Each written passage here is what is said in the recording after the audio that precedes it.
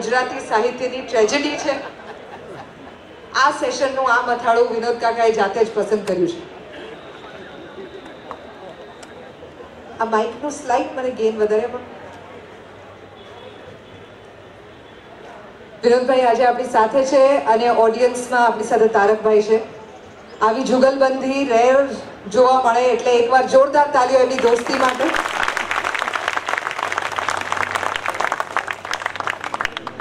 એમની ટ્રેજડીના ઘણા પ્રકરણો આજે મારા હાથમાં પુસ્તક રૂપે છે, જેમાંનું એક મને વાંચવાની જવાબદારી સોંપવામાં આવી છે. એક વાર ચીના તો માઇક આવે તકલીફ પડે છે હું થોડું પછી એને આ એક પુસ્તક છે, વિનોદ ભટ્ટની શ્રેષ્ઠ હાસ્ય રચનાઓ. અમારે ત્યાં રિવાજ છે સાહિત્યમાં, કે પોતે પોતાની રચનાઓને શ્રેષ્ઠ કહેવી કારણ કે વિવેચકો છે ને શું કરતા નથી. એટલે આ જવાબદારી અમારા માથે આવી પડે છે. આ બાબ, આ બાબતમાં એક વસ્તુ મુશ્કેલી આ છે કે આ છે ને રમવાનું લાગે છે શું કરવું પડે પેલું સ્ટેન્ડ લ્યો સ્ટેન્ડ લીઓ સ્ટેન્ડ લાગે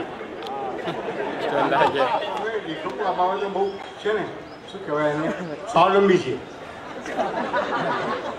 બીજા ઉપર ભરોસો રાખતા નથી. કોઈ શ્રેષ્ઠ કહેવાનું છે નહીં, ખબર છે? એટલે મેં પોતે આ નામથી આ પુસ્તક પ્રગટ કર્યું છે. આમાં વિદ્યાર્થીઓના દુર્ભાગ્ય ચોપડી ટેક્સ્ટબુક તરીકે પણ ચાલી ગઈ છે. બે ત્રણ યુનિવર્સિટીઓમાં. મારી સહાનુભૂતિ છે લોકો તરફ પૂરેપૂરી અને આમાં ઘણું બધું છે બધું તો અહીંયા નહીં આવે. થોડુંક સેમ્પલ આવશે. આમાં પ્રેમપત્રો છે. વિનોદ ભટ્ટના પ્રેમપત્રો. જે એને પોતે નથી લખ્યા આ છે ને, એવું આજે મુશ્કેલી એ છે આ મારી દીકરી માટે, કે બીજાના લખેલા પ્રેમપત્રો એને વાંચવા પડશે. એને પોતાની ઉંમર છે, પોતાના લખવાની છે ઉંમરે બીજાને વાંચવાના. અને આપણે ટ્રેજેડી કહેવાય. પણ મારો વિષય આવશે આગળ. હું આગળ એના વિશે કહીશ. તો એક શિક્ષક હોય, તો એ પોતાની જેને માની લીધી પેશીને કહું એ પ્રેમપત્ર લખે. વહલા લીનહા બેન એ બધું ખોટું. જોડણી ખોટી હોય એની. એ બેનની જોડણી ખાસ ખોટી લખે એ લોકો. જાણી જોઈએ પછી એ બાજુ પ્રશ્નપત્ર રૂપે આવે. પ્રશ્નો પૂછે શિક્ષક. આમ આમ કરશો, આમ થશે આમ થશે વગેરે. પણ બેનને મેં એ મૂકું બે ત્રણ પત્રો, તું વાંચ બેનને, તને સારું લાગે. કરજે ક્રિકેટરનો પ્રેમપત્ર છે. એ વાંચવાની છે. એટલા માટે કે આપણે જે ધોળકું ધોળી રહ્યા છીએ અત્યારે એ કે બહુ ફિટ થશે એમાં. કોઈ તો કરી નાખો. તો બેન આપ આગળ પડો આમ તમારી સાથે. માઇક માઇક ક્યાં છે? આ છે? હા.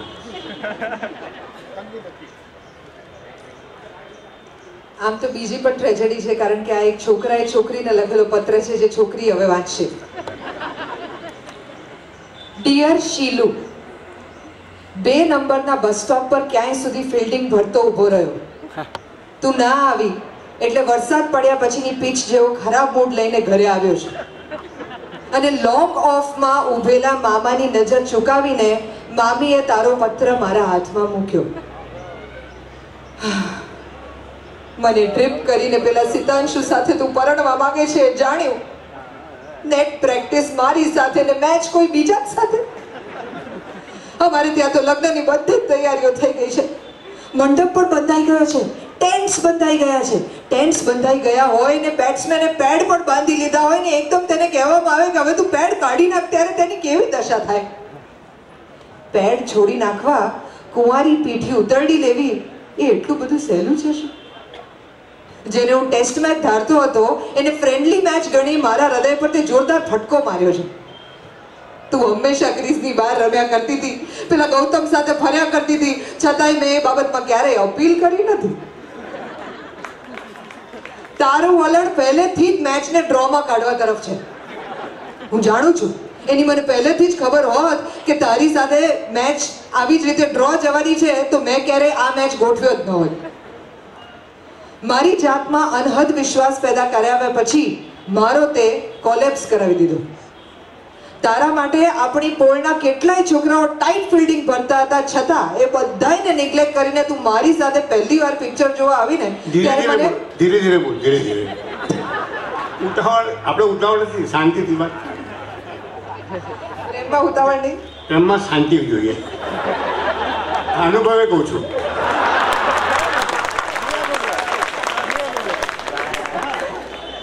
તારા માટે આપણી બોલના કેટલાય છોકરાઓ ટાઈટ ફિલ્ડિંગ ભરતા હતા.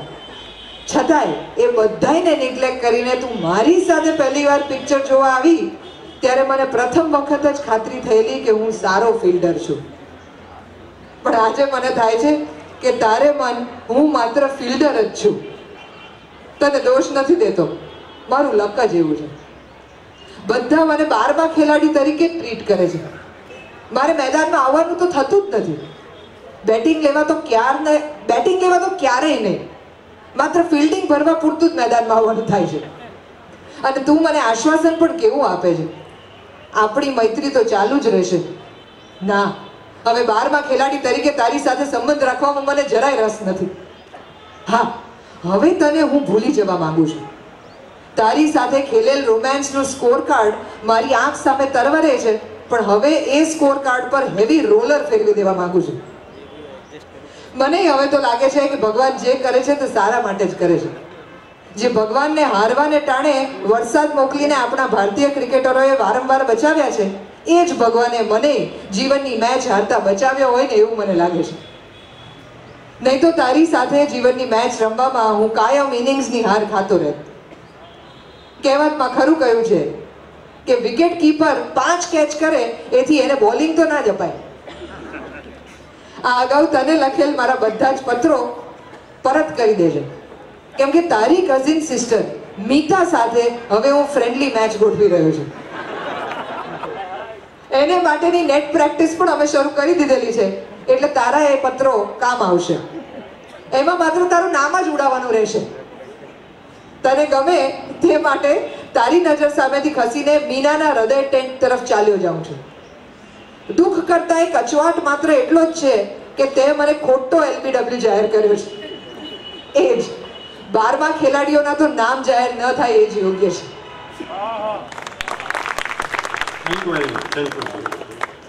વચ્ચે વચ્ચે બોલો, તારા આવતી રહી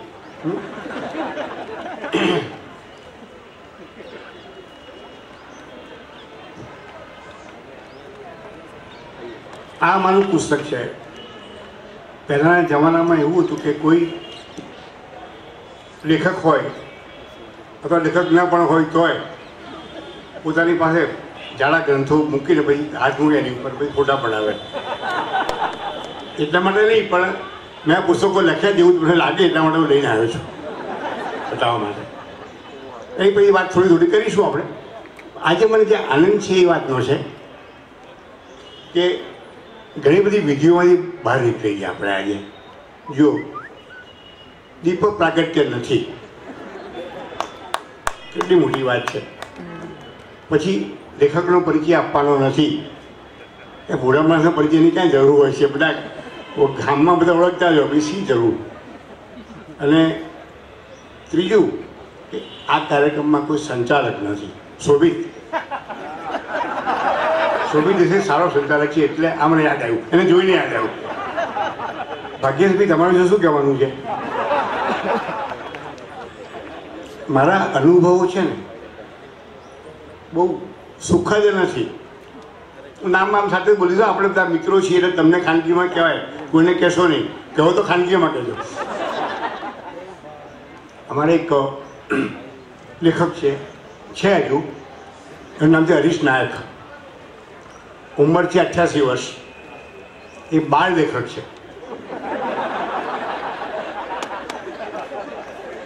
અને આપણે બી જોયું છે કે બાળ લેખકો વધુ જીવતા હોય છે. એનું કારણ એ છે કે એમનામાં બેઠેલો બાળક ક્યારેય મોટો થતો નથી. હા બધા એવું કરવાનું શોભિત તમને સારું લાગશે. આપણા ચાર પાંચ માણસો હોવા જોઈએ. એક તો આવી ગયો ચાર શોધવાના છે મારે તરત શોભી આપણો ઉદયન ઠક્કર જોડે જ છે. એને પૂછી લે પહેલાં. પછી તો એક કાર્યક્રમ હતો. એમાં એક આપણા વૃદ્ધ સો વર્ષની ઉંમર સુધી પહોંચેલા જીવરામ જોશી. તો એમનું સન્માન હતું. એ વખતે હું સાહિત્ય પરિષદનો પ્રમુખ હતો. એટલે આજે પ્રચાર માટે નહીં, પણ માહિતી માટે. તો મને એમાં આમંત્રણ હતું પ્રમુખ તરીકે. ત્રણ કલાકમાં હોલ પાછો આપી દેવાનો હતો. હરીશ એવી ઈચ્છા જાહેર કરી કે હું સંચાલન કરીશ. ઓકે નો પ્રોબ્લેમ તો ત્રણ કલાકના કાર્યક્રમમાં હરીશભાઈએ પોણા ત્રણ કલાક સંચાલન કર્યું. હું પોતે જે મુખ્ય વક્તા હતો એ મુખ્ય શ્રોતા બની ગયો. અને બીજી પંદર મિનિટમાં કાર્યક્રમ પૂરો કરવાનો હતો. હું ફક્ત ત્રણ મિનિટ બોલ્યો. એ રીતે કાર્યક્રમ સંપન્ન થયો. બીજા દિવસે હરીશ નાયકે મને ફોન કર્યો. વિનોદ, મારે દાદા વિશે ઘણું કહેવાનું રહી ગયું. મેં કહ્યું હરીશભાઈ તમે જાણો છો કે હું રોકડી ત્રણ મિનિટ બોલ્યો હતો. તો પહેલાં કહ્યું હોત ને, તો ત્રણ મિનિટ ઓછું બોલે, બીજું શું?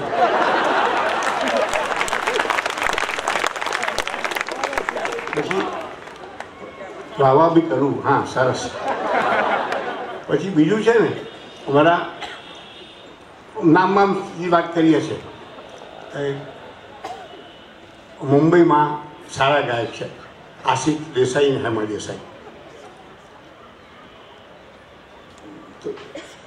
આપનો પરિચય મધુરે નહીં, શું કે? મોડા મોડા એ કશે સાંભળો, એકવાર એવું બન્યું. યાદ આવ્યું એટલે કહું છું.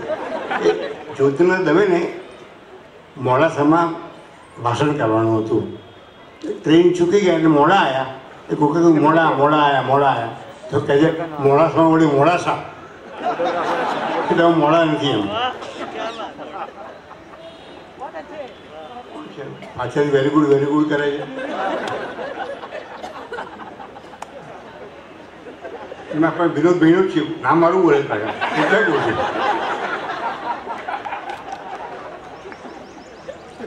એમાં છે ને, તો આશિષભાઈને હેમાબેન એ વખતે પરિષદનો પ્રમુખ, એ વખતે પણ હતો જ એમ. બે વર્ષ માટે હોઉં છું ને, એ દરમિયાનની વાત છે. તો અમે નરસિંહના પદો એ વિશે એ લોકોનું કાર્યક્રમ ગોઠવ્યો. બધી ઘણા બધી કહેવત છે આંગળિયાત તો આશિષભાઈ આંગળિયાત તરીકે જોડે જવાહર બક્ષી નામના એ ગઝલકારને લઈ આવ્યા. જે સંચાલન કરવાના હતા કાર્યક્રમનું. એમણે સંચાલન કર્યું. બોલ્યા, ખૂબ બોલ્યા ખૂબ બોલ્યા. લોકો થાકી જાય એટલું બોલ્યા. પછી એમણે વચ્ચે વચ્ચે નરસિંહની વાત કરતાં પોતાની કવિતા પણ બોલવા મળે. એમને ખબર આપણે કોણ કોણ નરસિંહ છે ખ્યાલ ના આવે આપણે ત્યાં સુધી. પછી છે ને, તો એમણે પત્યું કાર્યક્રમ પત્યા પછી પ્રીતિબેન, હવે મને સાંભળજો, હું બોલું છું. પછી એ આભાર માનવાનો મારો પ્રમુખ તરીકે આભાર માનવાનો હતો, એટલે મેં કહું, આજે બહુ સરસ મજા આવી. કાર્યક્રમ તો સારો જ હતો. તો મને વધારે મજા જવાર પક્ષીમાં આવી. સરસ સંચાલન કર્યું. અને વચ્ચે વચ્ચે છે ને આશિષ નેહમા ગાતા પણ હતા.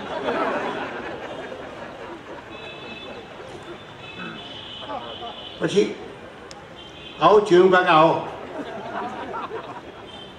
અમારો વાલો ચીનું છે, એ ચીનું વિનુની જોડી હતી એક જમાનામાં.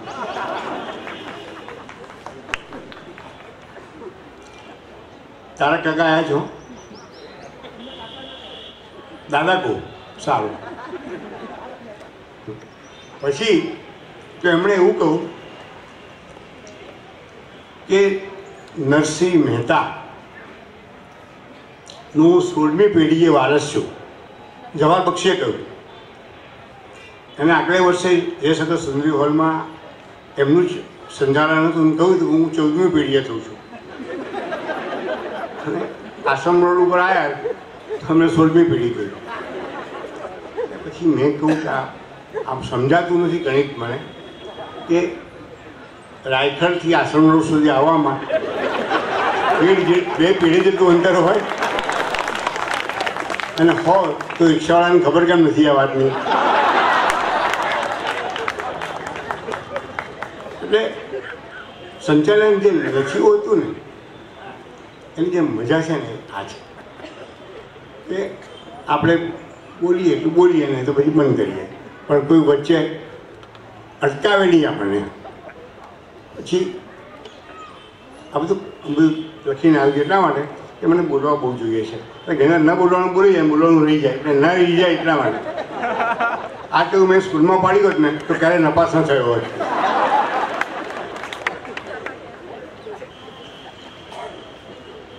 આ ઓડિયન્સ જોઈને આમ આજે આટલું બધું ઓડિયન્સ આપણામાં? એમ, આમ એટલા માટે કે મેં એવા એવા કાર્યક્રમો કર્યા છે. એક વાર તો એવું બન્યું. સુરેન્દ્ર કાકા, કે ગાંધીનગરમાં એક કવિ સંમેલન હતું તો એમાં સત્તર કવિ હું સંચાલક હતો. એ વખતે એ વખતે આપણે ખરાબ ટેવો હતી. સત્તર કવિઓ અને અઢારમો સંચાલક. નક્કી કર્યું બપુ આ વખતે આપણે ગમે તે થાય, છાપો પાડી દઈએ. ત્યાં ગાંધીનગર ગયા તો ઓડિયન્સમાં ત્રણ જણા હતા.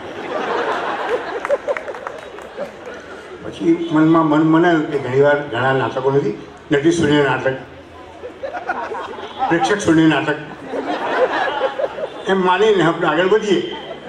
નો પ્રોબ્લેમ તણમાનું એક તો છે ને, પાંચ મિનિટ બહુ નીચે જતો રહો આમ કરતો જતો હતો.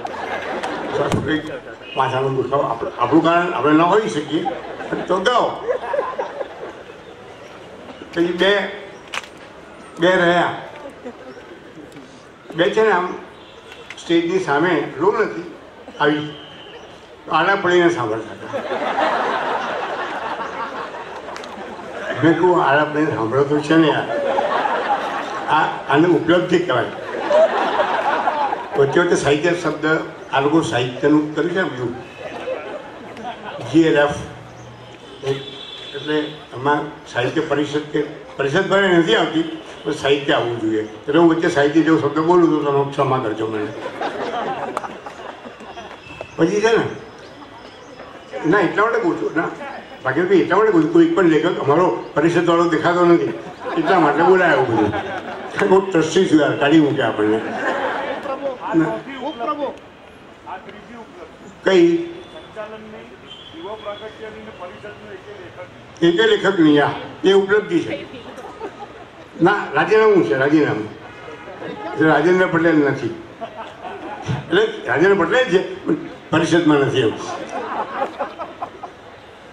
પછી થયું શું? કે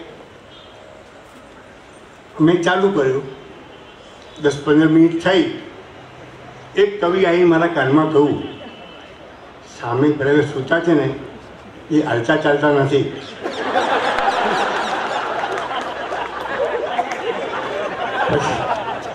પછી મને પૂછ્યું, એ કવિતાનો પ્રભાવ હશે?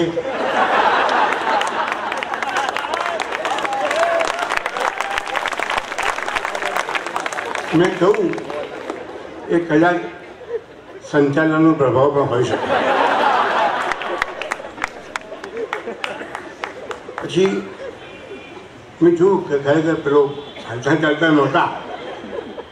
કવિ ફરી આવો. મેં કીધું ગાંધીનગરના લોકો બહુ ક્રૂર હોય છે. ખુલ્લા ગુનાચર ત્રણસો બેની બેની કલમ લગાડી દેશે, તો લેવાના દેવા પડી જશે. મેં તો એક કવિતા વાંચી જ નહોતી. તો હું ગભરાયો. હમણાં ધીરે ધીરે કરીને સરકી ગયા. પેલા બેનું શું થયું? હજુ ખબર નથી મને. હવે, ત્યાં કેન્ટીન છે. એવું લાગે ના એવું લાગે છે? અવાજ રેડિયો સ્ટેશન ઉપર હોય ને હોય એવું લાગે આપણને. હવે પ્રીતિબેન વિષય ઉપર આવું છું. સબ્જેક્ટ. હવે તેનું આવ્યા પછી. પાણી પીલું થોડું. બળ મળે ખુલશે ખુલશે. અશક્ત થયું પણ એટલો અશક્ત નથી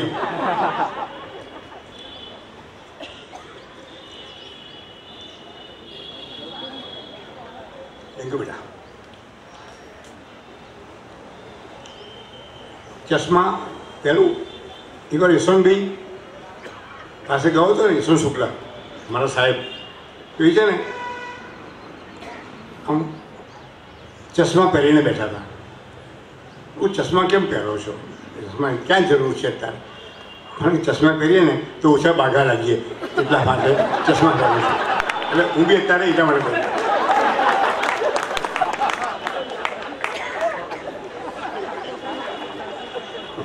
થેન્ક એક સન્ડે ભેટ આપ્યા છે. એનું નામ ભાગ્યચાર નથી. મને વિષય આપવામાં આવ્યો છે. વિનોદ ભટ્ટ, કોમેડી લેખક છે. એ ગુજરાતી સાહિત્યની ટ્રેજેડી છે. આ અહીંયા પ્રશ્નાર્થ મૂક્યો છે, પણ પ્રશ્નાર્થ નહીં, વિધાન છે. આ વિધાન કોનું છે ખબર છે? ચંદ્રકાંત બક્ષીનું છે. આપણે બક્ષીથી શરૂ કરી દેવું છે? હાલવા દો બાપુડી, ચલો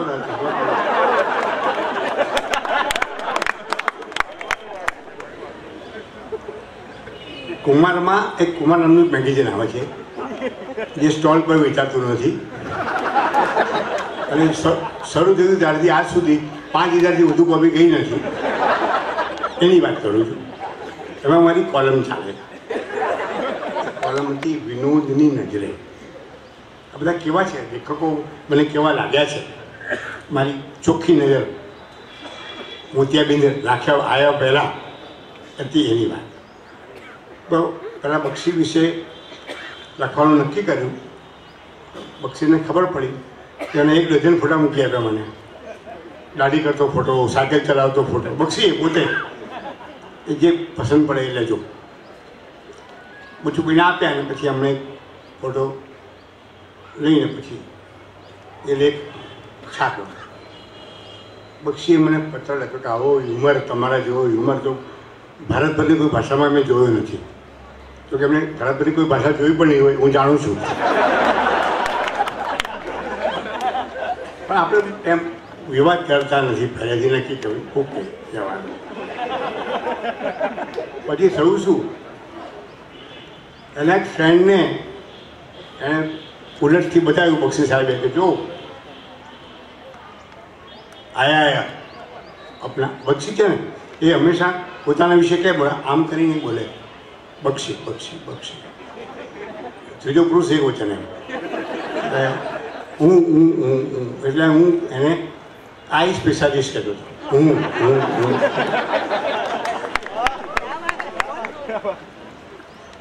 પછી થયું શું? કે એના મિત્રે કહું કે યાર, ચલો વાંચને. પછી વાંચ્યું. બિટવીન ધ લાઇન્સ જે જે હતું એ પણ વાંચ્યું. પછી અમને લાગ્યું કે આમાં તો ક્યાંય વખાણ આવતા જ નથી એટલે પછી ખીજાઈ ગયા. એ ખીજાય ત્યારે ઇન્ટરવ્યૂ આપતા હતા. દરેક માણસે પોતાની વિશેષતા હોય છે. એમણે શું કર્યું? કે ઇન્ટરવ્યૂમાં કહું કે વિનોદ ભટ્ટે કુમારમાં મારા વિશેનો લેખ લખીને મારી પીઠમાં ખંજર પહોંચ્યું છે. પેલો જે યાસન દલાલ નામનો એક દલાલ અટક છે, યાસન નામ છે, રાજકોટમાં રહે છે, એટલે મેગેઝિન પણ કાઢે છે. એમાં એણે આ ઇન્ટરવ્યૂની છાપ્યો તો મને કોપી મોકલી અને કહું કે આવું પક્ષી માને છે. તમે શું માનો છો? પક્ષી એવું માને છે કે વિનોદ ભટ્ટે મારી પીઠમાં ખંજર ભોગ્યું છે. એ આપણે જસ્ટ આવી રીતે મૂળમાં હતો. મેં પત્ર લખ્યો, પોસ્ટકાર્ડ એ તારા દેખાતા નથી એવા. એસએમએસ પોસ્ટકાર્ડ પણ હું છે એ વખતે મેં એમાં લખ્યું પોસ્ટકાર્ડમાં કે આમાં પક્ષીના પક્ષી ગેરસમજ થઈ એવું દેખાય છે. મેં ખરેખર તેની છાતીમાં ખંજર મૂક્યું હતું. પરંતુ પીઠની પાછળથી નીકળ્યું કે આવી ગેરસમજ થાય. સ્વાભાવિક છે. એટલે પછી ત્યારથી અમારી વચ્ચે આ love hate love hate love hate ચાલ્યું. અમે કહું પછી એને બીજો ઇન્ટરવ્યૂ આપ્યો એમાં એણે કહ્યું કે વિનોદ ભટ્ટ કોમેડી લેખક છે. એ ગુજરાતી સાહિત્યની ટ્રેજેડી છે. આ લોકોએ પકડ્યું કે આ ચાલે એવું છે આપણામાં? હું આપણામાં ચાલે એવું છે. એટલે આજે પ્રશ્નાર્થ કરીને પછી વાત આપણે અહીંયા રજૂ કરી બધે બક્ષીને અમારા વચ્ચે બહુ છંછેડવો ના હોય, તો બીજી આડી વાત કરીને પછી બક્ષી તો આવશે જ. તમે યાદ કરો તો ભૂલી જવું પણ આજે આપણે આનંદ કરવાનો છે. ભાષણબાજી નહીં, જલસા કરવાના મિત્રો બધા ભેગા થયા છે, આવા દિલોચાર દોસ્તો કામ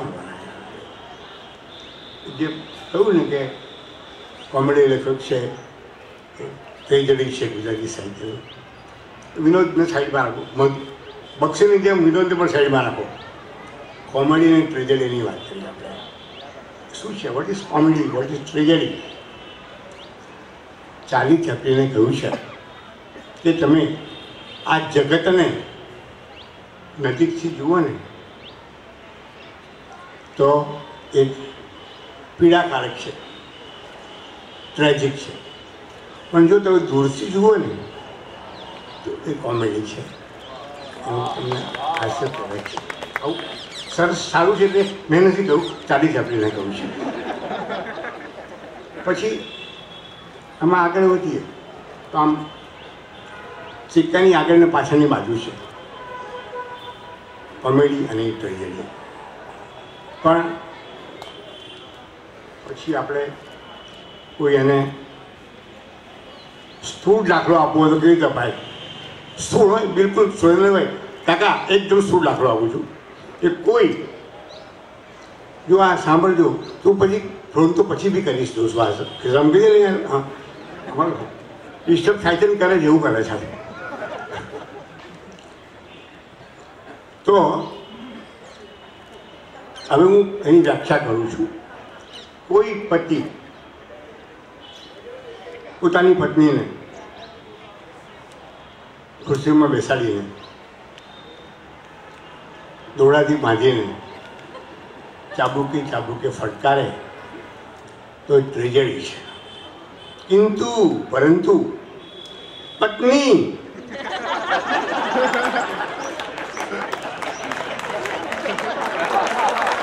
પોતાના પતિને ખુરશીઓમાં બેસાડીને, દોરડાથી બાંધીને, ચાબુકી ચાબુકી મારે, એ કોમેડી છે મિત્રો, જુઓ, આમાં તમે જો બધું ખુરશી એ છે, ચાબુક એ છે. ફટકારવાની ક્રિયા પણ એ છે. કિંતુ કરતા કર્મ બને. કર્મ કરતા બને કોમેડી ટ્રેજેડી બને ટ્રેજેડી કોમેડી બને. હવે આનો સૂક્ષ્મ દાખલો. આ એટલા માટે બધું સૂક્ષ્મ સૂક્ષ્મ કહ્યું કહું તને, ભાઈ, તારું નામ ભૂલી ગયો શોભિત, હા, તો બી શોભા છે.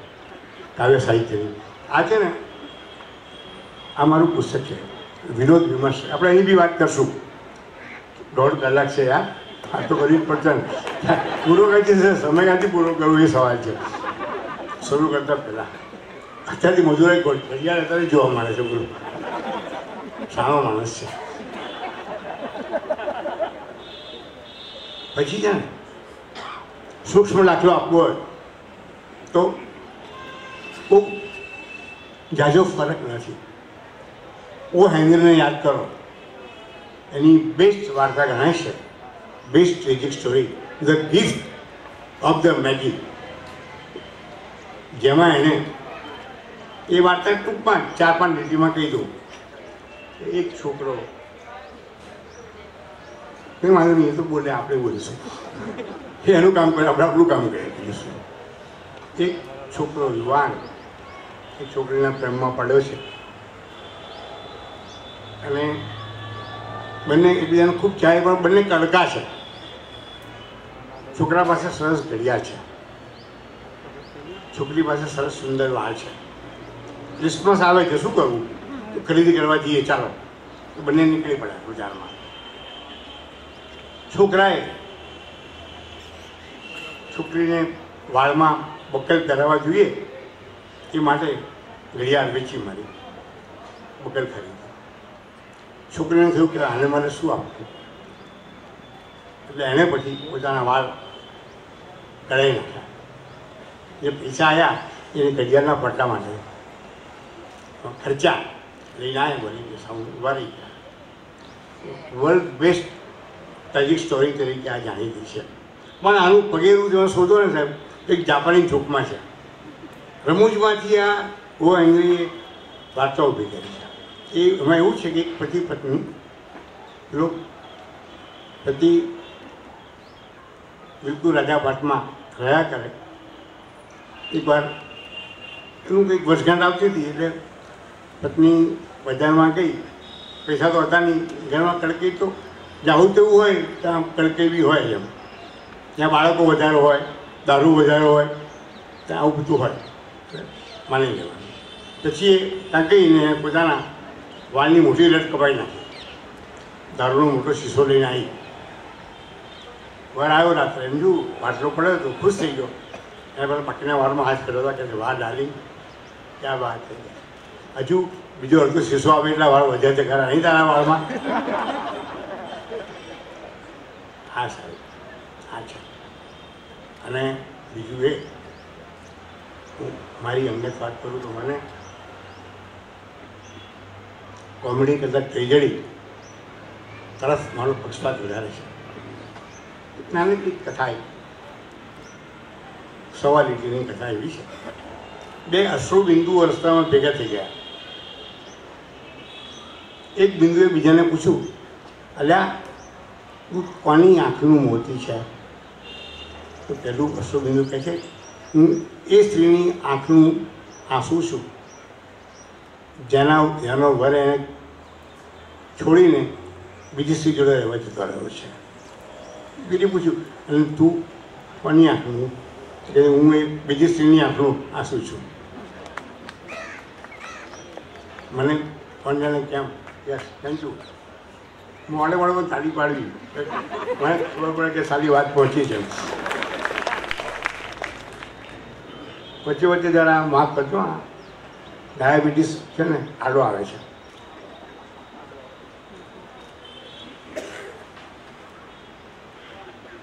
ક્યાં જ આવજો બાળ એટલે ભેગા કર્યા છે બાજુ.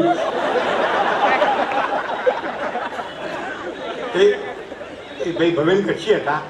હતા એટલે છે હજુ આવી ગયા છે એ ગુજરાત સમાચારમાં સરસ કોલમ લખે છે. એની વાત પછી આપણે કરશું. એ આવે પછી પછી શું થયું પેલા? અશોક બીજીની વાત બધી હવે મારી વાત આવશે. હું, મને નરસિંહ રાવ દ્વિવેદીએ કહ્યું છે ને, આ વાદ્યને કરુણગાન વિશેષ ભાવે. કોકે એની પેરડી કરી હતી આ વાઘને વરુણનું માસ વિશેષ ભાવે તો મને છે ને પહેલાં શરૂઆતમાં કરુણ વાર્તા તો બહુ પ્રીતિ મેં પચાસ વાર્તાઓ કરુણ વાર્તાઓ લખી એટલી બધી કરુણ, એટલી બધી કરુણ. ચીનું. ચીનું એટલે કરુણ નહીં એમ. મારી વાર્તાની વાત છે. જમણા હાથે હું વાર્તાઓ લખતો આંખમાંથી આંસુ વહેતા હોય, ડાબા હાથે આમ લૂછું આવી રીતે વાર્તા અને આવી વર્લ્ડ બેસ્ટ સ્ટોરીઝનું શું કરવું, એ પણ વિચાર આવે આપણને, સ્વાભાવિક છે. જે લખાય છે તો વંચાવવું જોઈએ ને આ એ પણ કોળમાં ખબર પડે કે છોકરાઓને કે આ વીડિયો છે ને વાર્તાઓ લખે છે. નાસભાર કોઈને પકડું ને હાથમાં કાગળ જમી દોડવા માંડે. ઊભો રહ્યા. કે બા બોલાવે છે. લેસન બાકી છે. હમણાં આવું છું. કોઈ રોકાય નહીં. પણ મારી વાર્તાઓ એટલી બધી બદનસીબ નહોતી. મારા ઘરની સામે પ્રૌઢ અર્ધ પાગલ રહેતો હતો. અડધો ગાણો જોકે હું મારો ફાળો નહોતો. હતો. તો એ સામે રહીને અમારા ઘરની વચ્ચે ચોકસામાં પર ખાટલો નાખીને પડ્યો રહે. અને એને એવો વહેમ કે હું દિલ્હીનો બાદશાહ. અત્યારે જે શહેરી વાત નથી. જીવન બાદશાહની વાત છે. તો જીવન બાદશાહ મેં કોણ? જીવન બાદશાહ. અને પછી શરૂ થઈ જાય. અને પછી એક ગુસ્સો આવતો ગાળો પણ બોલે એટલે હું પછી વાર્તા લઈને એની પાસે જો કાકા મેં કરુણ વાર્તા લખી છે વાંચું હા બેટા વાંચને આપણે ઉપર લખીએ એક કરુણ વાર્તા એ ત્યાંથી શરૂ કરું વિનોદ ભટ્ટની એક કરુણ વાર્તા એટલે કરુણ વાર્તા વાંચ કહું એટલે ત્યાંથી રડવાનું શરૂ કરે પછી આખી વાર્તા પતે ને પછી એ હું બે રડતા હોઈએ અને પછી એ ખીજાઈ જાય મેં કોણ? દિલ્હી બાસા ચિમન બાદશાહ. બેટા ચિંતા ના કર આ સમાજ, પછી ગાળો વીસ કિલો, ત્રીસ કિલો, જે હોય તે. એ કાટલાની પાસે હતા. કિલોના. બોલે. અને પછી આ ગાળ ગાળ આવે છે એવી રીતે. આ તારક મહેતા છે એની કોલમમાં આવું આવે ને તો ચિત્રલેખાવાળા કાઢી નાખી પહેલાં પોતે કાઢી કાઢે. હોંસમાં કે ગાળ ગાળ ગાળ. સમજી જવાનું. પછી આપણે ગોઠવી દેવાની કઈ ગમે એ ગાળ.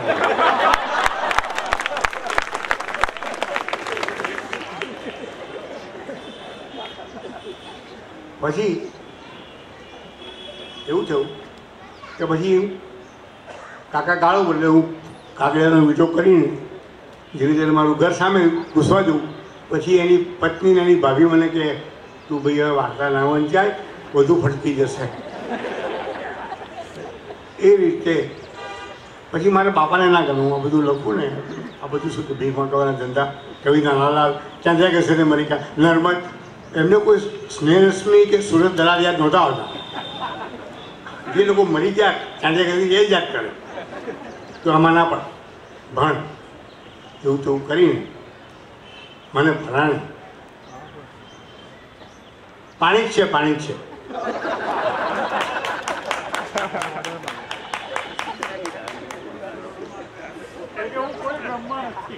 ના ના મને ખબર કેવા વગર તો છોડી દીધું છું જાણું છું. પણ તમે પાણી પીવો ને, તો ચીનો ચડે એવું છે એવું છે.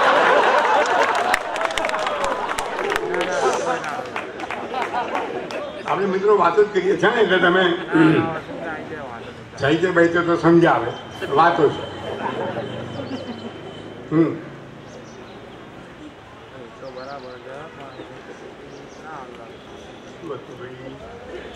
હા. ત્રણ વર્ષ પતી ગયું ને આપણો. હા, પછી મારા બાબા મને લડાય ગુસ્સે આવી ગયો, હું પોતે બધી વાર્તાઓ ગુજરાતી સાહિત્ય કરુણ લેખક ગુમાવ્યો જેવા એના નસીબ આપણે શું કરીએ હવે આ પુસ્તક છે વિનોદ વિમર્શ આ પુસ્તક આશ્ચર્ય ઉપરનું ગંભીર પુસ્તક છે એમાં હ્યુમર શું છે સેટાયર શું છે બાયરણી શું છે એ બધીની વિભાવના સમજાવવામાં આવી છે કોઈ વાંચવા જેવું નથી આમાં માથાનો દુખાવ છે. તો શું હતું કે વચ્ચે બે વર્ષ ઉદ્ધર ચાલેલું. માધવસિંહ સોલંકી, સૌજન્ય માધવસિંહ સોલંકી.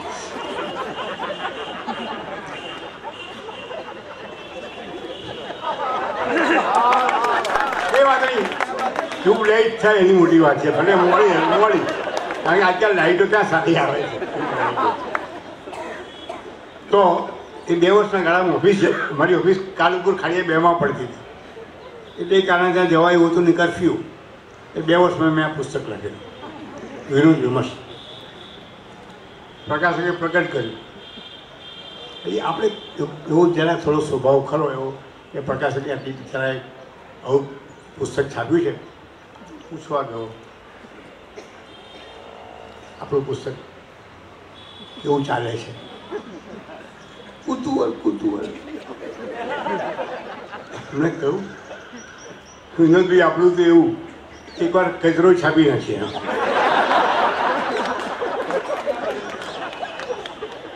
ત્યારથી નક્કી કર્યું કે પ્રકાશકને ક્યારેય કશું પૂછવું નહીં. આપણા પુસ્તક વિશે ક્યારેય ન પૂછવું. તો આ જે અમે ચેપ્ટર છે. એક જ ચેપ્ટરની વાત કરીશ. અને ટૂંકમાં આવું ના બોલીએ. આપણે જુઓ, કે છે ને, હું પ્રોફેસર નહોતો સદભાગ્ય. એટલે અડધો પોણો કલાક લઉં એવી વાત નથી એમાં. કાંઈ કંઈ ટોપિક ભણાવવામાં. ખાલી માત્ર મેસેજ એના પ્રસંગો કહીશ, એ બી સમજાવવાની વાત નહીં. અને કે વખત સ્વપ્ન સોયા મારા કરતાં વધારે બુદ્ધિશાળી છો. એવું તમને લાગે એટલા માટે હું બધું નહીં કહું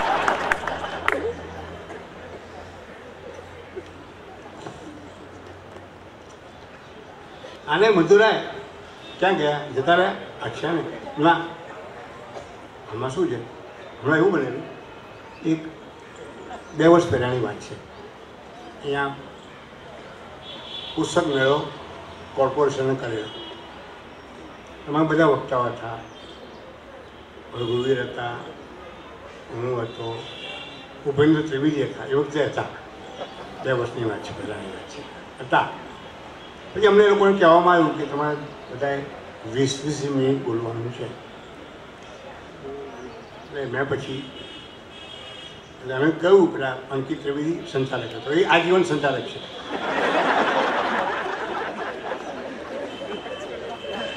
પણ આ અમારો શોભિત છે ને એની હાઇટની વાત કરું, અમેરિકામાં અમે જોડે થઈ ગયેલા.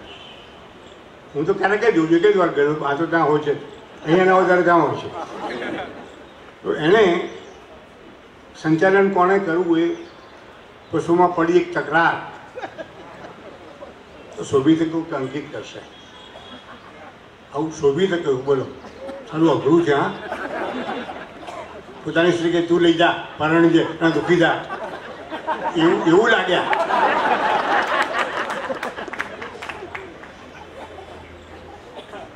બરાબર? હા, પછી વીસ મિનિટ આપી એટલે ઉપેન્દ્રભાઈ ખીચાઈ ગયા. શું વાત કરો છો? એસી એસી વર્ષ કે છે આમાં વાપર્યા છે અભિનયમાં. વીસ મિનિટમાં બોલવાનું એ મેં કહું, એક કામ કરો. તમે બોલજો. હું રઘુવીર બધા શું કરીશું? મસ્કરી કરો છો. ના ના તું મી નહીં થયા મસ્કરી શું હોય એમાં? કારણ બોલવું છે બોલવાનું. સારું કે હું થોડુંક ઓછું બોલીશ. પછી બોલ્યા. જો અગત્યનો ફોન તો મારો તો મને આપજો, હા. ફોન રિંગ વાગી એટલે કહું છું. તો લોક લગભગ સવા કલાક બોલ્યા મધુરાય સવા કલાક. નાટક વિશેનો વધારે પોતાના વિશે. પછી એવું લાગ્યું કે હવે લોકો તાલીઓ પાડશે એવું સંચાલકને લાગ્યું એટલે એને ચીઠી મોકલી કે હવે લોકોના હાથ બે ભેગા થઈ રહ્યા છે. તો એટલે બહુ સારું. એટલે પછી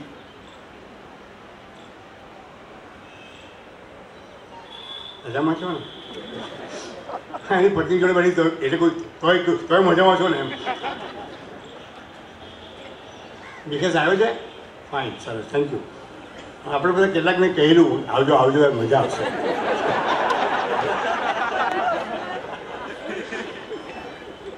પછી સવા કલાક શું ને બહુ તાલીઓ પાસે લાગ્યું એટલે પેલા ચિઠ્ઠી મોકલી અંકિતે કે હવે બાકી જ્યાં હતા એ ત્યાં હાજર હતા. એ તો બહુ ઓછું જ બોલ્યા હતા, પણ હાજર હતા એમ. પછી એને કહું કે હવે આપણે અટકાવો તો સારું, પછી અટકીને બેસી જાય રઘુવીર પણ બહુ શુક્લ માણસ છે, રઘુવીર આજે નથી આવ્યો. જો શુક્લ માણસ એને કહેવાય. એમણે દસ મિનિટમાં બતાવી દીધું બોલવાનું બધું. એટલે આપણે. અને હું અટકું તો લોકો ચીસો પાડે. બોલો બોલો બોલો બોલો. હું કહું સવારે મારે ચાલવા જવાનું છે. બાર વાગવા આવ્યા છે. કે તમારા બાર નહીં વાગે, બોલો. ઓડિયન્સ કેટલું? આત્મવિશ્વાસથી બોલતું હતું, ખુશ થતું હતું. ત્યાં મેં જોયું, ઉપેન્દ્રભાઈ સામે જોયું. મેં તો ઉપેન્દ્રભાઈ, જાગો છો? કે શું થયું? ના એટલા માટે કે તમે બોલતા હતા મેં જ્યારે જોખું ખાઈ લીધું એટલે તમારો અધિકાર બને છે. હું કહેવા પૂરતું જ મેં પૂછ્યું, જાગો છો? હા, હવે એમાં એક ચેપ્ટર છે. સેટાયર એટલે વ્યંગ, કટાક્ષ. બરાબર? એની જે મધર, માં, જનની, એ વેદના છે. અને જન્મ વેદનામાંથી થાય છે. એ તમે જુઓ સેટારનો સ્વાદ છે ને, ત્યારે મધુર નહીં હોય. તારક મહેતા ક્યારેય આ જ કારણે સેટાર લખતા નથી. એ મધુર જીવનનો માણસ છે. હાસ્ય, વિનોદ બરાબર છે, એ શોકે. કોઈને દુઃખ થાય, વાગી જાય એવું નહીં કરવાનું. હું એમનો નાનો નાનો ભાઈ છું, એટલે કોઈને વાગી માટે પ્રયત્ન પહેલાં કરતો હોઉં છું. તો એમાં એનો સ્વાદ જુઓ, કડવો, તીખો, પૂરો, એવા એવા સ્વાદો છે. અને એના દાખલા, આપણે દાખલા આપવાના બીજી વિભાવના સમજાવવાનો કંઈ અર્થ નથી. મારે સમજવાની બાકી છે હમ.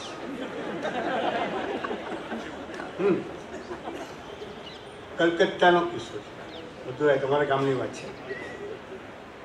એક પગ રિક્ષાવાળો જતો હતો સવારી કહું, રિક્ષા. ઊભો રહ્યો. આનાય. ચલો સી બેસી ગયો. બધા પેડલ મારવા. પહેલેથી ચલાવવાની છે, પગ રિક્ષા. પગ ઊંચો કર્યો પેસેન્જરે જોયું કે એના પગે પાટો બાંધ્યો છે એટલે પૂછ્યું અરે ભાઈ રિક્ષાવાળા तू रिक्शा कैसे चलाएगा तेरे पाँव में तो पट्टी बंधी हुई है रिक्शा वाला कहे साहब ये रिक्शा है ना ये पाँव से नहीं ये पेट से चलता है साहब આને આપણે આવે હમણાં જ ઓબામા આવીને ગયા હા અમારો અંતરે એમ જાણી ગયો છે શોભી તો એક જમાનામાં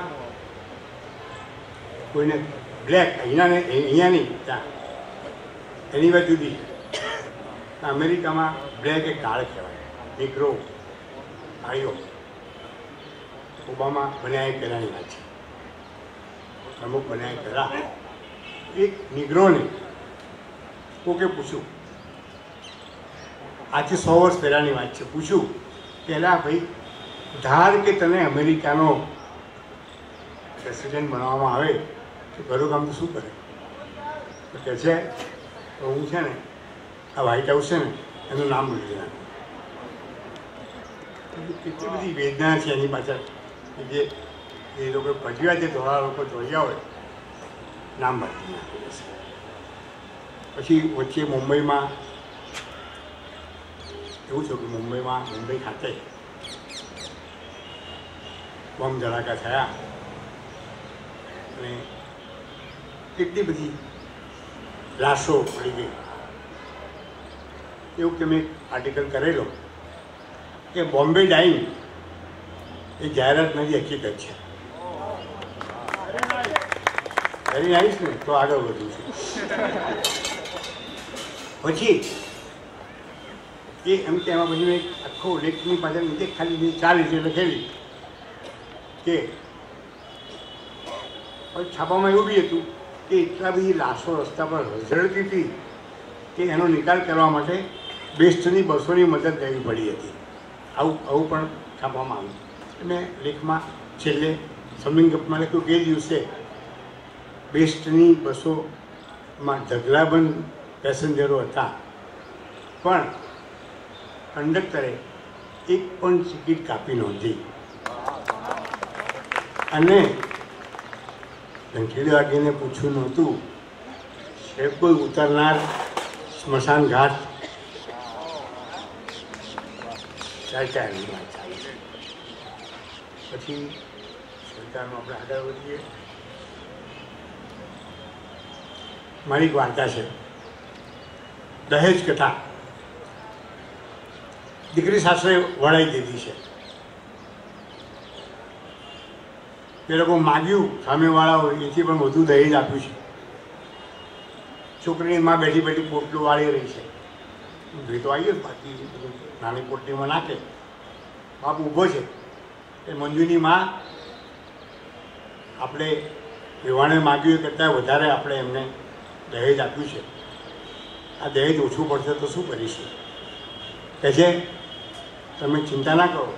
એની વ્યવસ્થા મેં કરી છે. સાથે કેરોસીનનો લોકો પણ મૂકી દીધો છે. તો જુઓ તમે, ક્યાંય હસવાની કંઈ જગ્યા છે? આ સરકારની માં ખાસ કરીને જ્યારે કટોકટી, હૃદય, આ બાજુ આવા જ જોયા કે હું બી છું. ઓડિયન્સ સારું છે નો ડાઉટ પણ એટલું ખરાબ છું એવું માનશો નહીં. કટોકટી ની વસન ચાલતી હતી. અને એટલો બધો પ્રભાવ હતો કટોકટીનો પાગલો પર ડાબરના હુમલા આવી જતા હતા. અને એ રીતે લોકો આમ ધ્રુજે મને યાદ છે કે પછી એકવાર એવું બન્યું એક પાગલ બેન્જીના બગનાની બહાર, ઇન્દિરાજીના બગનાની બહાર ઊભો ચીસ પાડતો હતો. ફક્ત એક જ વ્યક્તિને કારણે આખો દેશ બરબાદ થઈ રહ્યો છે. જોશ જોશ ચોસ મોટેથી ભેગા થઈ ગયા. પોલીસ આવી. પકડ્યો. મારતા મારતા લઈ ગયો. ઇન્સ્પેક્ટર ખૂબ માર્યો. પછી કહું, તું હમણાં બોલતો હતો ને બહાર, ચીસો પાડતો હતો? કે ફક્ત એક જ વ્યક્તિને કારણે આખો દેશ બરબાદ થઈ રહ્યો છે? એ વ્યક્તિનું નામ તું મારા કાનમાં ધીરેથી બોલ. એ બધાએ એના કાન પાસે મોડું લઈને કહું, હિટલર. ગજેડા પહેલાં બોલવું હતું ને, તો તો માર ખાત આવી રીતે કહે છે રસ્તામાં ચશ્મા ના પડે. જા. જતો રે જા હવે. હવે આવું આવું ના કરતો. થોડો ઊભો રહ્યો. આંખ મિચકારી. પૂછ્યું પીએસ સાહેબ, સાહેબને સાચું બધું સાહેબ, તમારા મનમાં કોનું નામ હતું?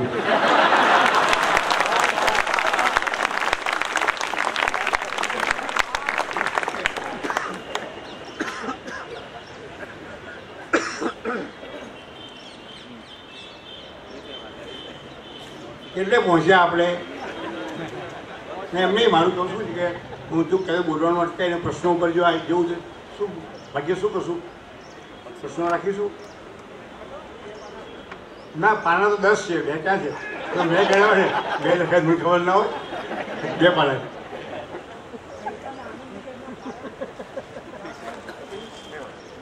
ના, ઘણું બોલ્યો તો.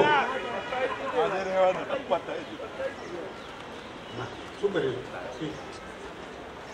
સમય તો કરવાનો જ, વાત ક્યાં? દોઢ કલાક ક્યાં જવા જોઈએ મને ખબર છે? એમ નહીં બસ. ના, તમને જે, તમને સારું સાંભળો એ તમારે સાંભળવું હોય તો બોલ્યા કરું. અને પ્રશ્નો કરાવો, એ બી. આપણે બધી તૈયારી છે.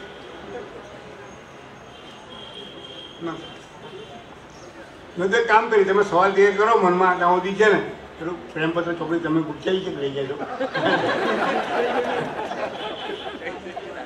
ગાંધારી વાળા તો આપણે એક એક જમાનામાં ટીવી નહોતા આવ્યા ટીવી આજ પિસ્તાલીસ વર્ષ પહેલાંની વાત છે.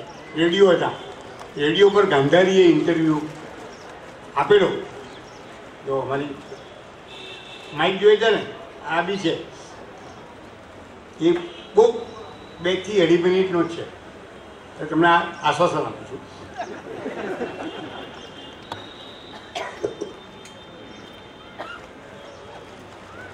ગાંધારીનો રેડિયો ઇન્ટરવ્યુ આવો આવો ગાંધારીબેન કુટુંબ નિયોજનના ઉપક્રમે તમારું સ્વાગત કરતા ધીરે ધીરે હો કુટુંબ નિયોજનની વાત છે એટલે ધીરે ધીરે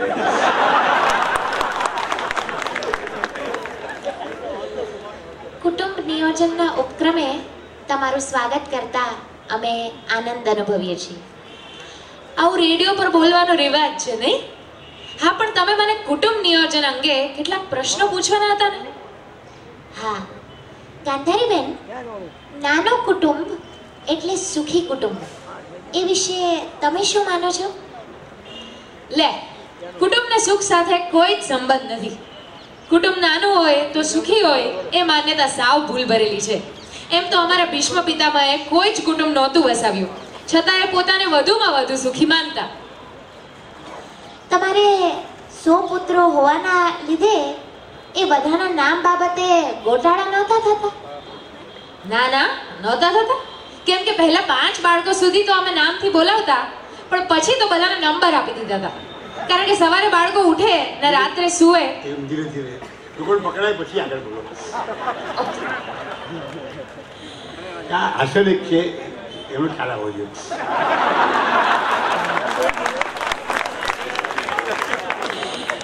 કેમ કે પહેલા પાંચ બાળકો સુધી તો અમે નામથી બોલાવતા. પણ પછી તો બધાના નંબર આપી દીધા હતા.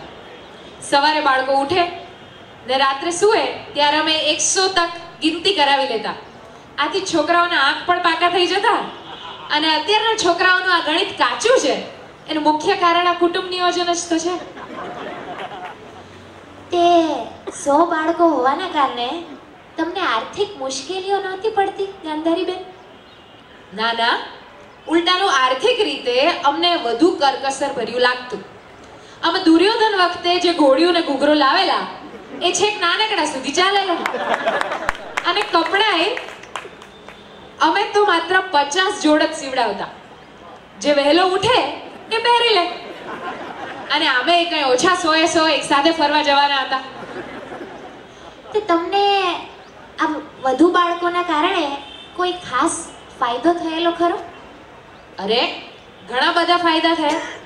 રેશનિંગમાં માથા દીઠ ચારસો ગ્રામ તેલ મળતું. ત્યારે અમે તો અમારા બધા જ છોકરાઓને લાઈનમાં ખડા કરી દેતા. ને મળે એટલું તેલ લઈ આવતા. ખવાય એટલું ખાતા ને બાકીનું બ્લેકમાં વેચી દેતા. છોકરાઓના એડમિશનનો સવાલ ઊભો ના થાય, એ માટે અમે ઘેર જ કોલેજ ખોલી દીધેલી. ગામના છોકરા અમારી જ કોલેજમાં ભણવા આવતા. એમાંથી અમને ધૂમ નફો મળતો. અને આટલા બધા છોકરા હોવાનો ફાયદો એ હતો કે છોકરાઓની વહુઓ પણ વધારે આવે ને. અને વહુઓ સાથે લડવાની મને તો બહુ મજા આવતી. લડવાની મજા માણવી હોય તો સાસુ બનવું જોઈએ. સાચું કહું? મેં તો લડવાના વારા કાઢેલા વારા. તે આટલા બધા છોકરાઓ કોઈ વાર તમને મુશ્કેલીમાં નહોતા મુકતા ગાંધારીબેન હા, એક વખત મુશ્કેલી પડેલી. પણ મને નહીં. દુર્યોધનના બાપ બધા છોકરાઓને લઈ ને કોઈકના લગ્નમાં રિસેપ્શનમાં જતા હતા. ને શહેરમાં એ વખતે તોફાન ફાટી નીકળેલું. એટલે એકસો ચુમ્માલીસની કલમ અમલમાં હતી. બીજા કોઈકના અમારામાં ભળી ના જાય એ માટે અમે અમારા બાળકોને ખાસ યુનિફોર્મ પહેરાવતા. અને અત્યારે આ સ્કૂલોમાં જે યુનિફોર્મ દાખલ થયો છે, એ ઓરિજિનલ આઈડિયા તો અમે જ આપેલો. હા, દુર્યોધનના બાપ છોકરા સાથે જતા હતા, ત્યારે પોલીસે એમને ટોળું લઈને હુમલો કરવા જવા માટે પકડી લીધેલા. તો પોલીસ જોડે બે ત્રણ કલાક લમણાજી કરી, તો પોલીસે એમને માંડ છોડ્યા. એટલી તકલીફ પડેલી. કે તમે તમારા બધા જ બાળકોને લઈને લગ્નમાં જતા, ગાંધારીબેન? અરે આ મહાભારત એમાંથી જ ઊભું થયેલું ને?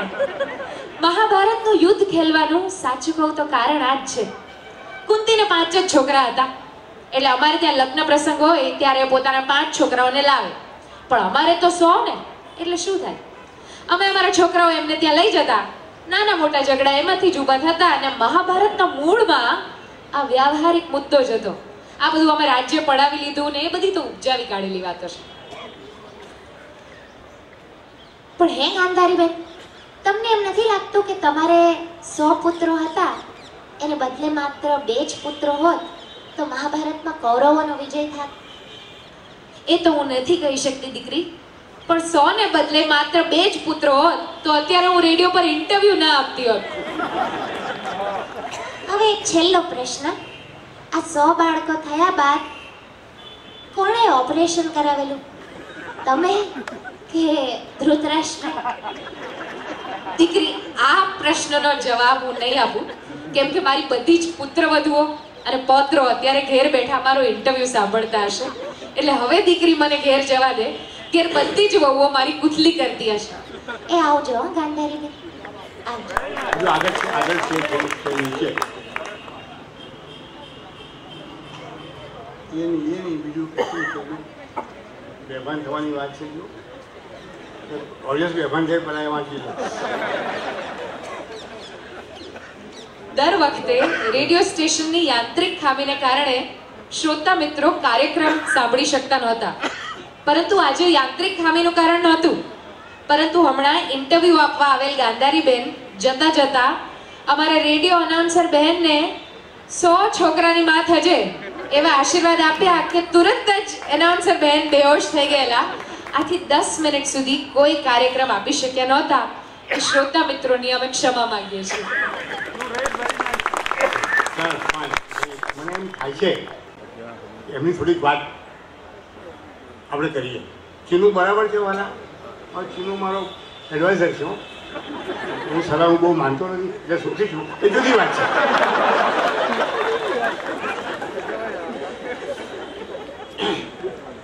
તારકભાઈ મારા વડીલ છે, મોટાભાઈ છે, ખૂબ જ ચાહે છે એને હું ખૂબ જ આદર આપું છું. એ હંમેશા મેં જોયું છે, જીવનમાં મારાથી આગળ જ રહ્યા છે. જુઓ, ઉંમરમાં આગળ છે, આપણે જાણીએ છીએ. ઇન એટી સિક્સ આમ હાર્ડલી સેવન્ટી એટ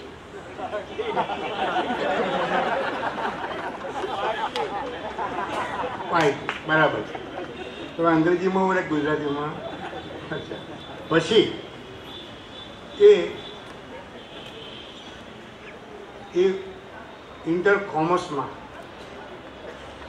એ નહીં પહેલાં હું ઇન્ટર કોમર્સમાં બે વાર નપાસ હતો દુબારા દુબારા. અને આ દુબારા તો મારો જન્મસિદ્ધ અધિકાર છે.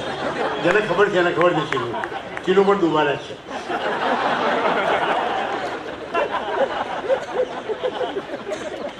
અને તારકભાઈ છે ને એ હેટ્રિકના માણસો, ત્રણ થતા ઇન્ટર કોમર્સ પછી હું જેમ હવા ફેર માટે કોમર્સમાંથી આસમાં ગયો, એ રીતે એ પણ કોમર્સમાંથી આસમાં ગયા.